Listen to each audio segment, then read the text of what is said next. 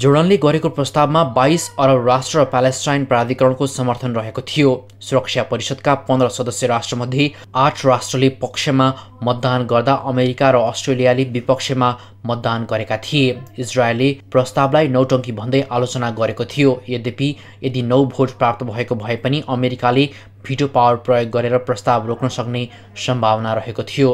प्रस्तावको पक्षमा रुस फ्रान्स चीन अर्जेन्टिना चार्ड चिली जोर्डन र लक्जेमबर्ग्सले मतदान गरेका थिए। बेलायत Lithuania Nigeria republic of Korea र रवान्डा भने मतदानमा उपस्थित भएनन्। प्रस्तावमा सन् दुई हजार सत्रसम्म प्यालेस्टाइन भूभागबाट इजरायलले पूर्ण रूपमा हट्ने र एक वर्षभित्रमा व्यापक शान्ति सम्झौता गर्ने उल्लेख गरिएको छ।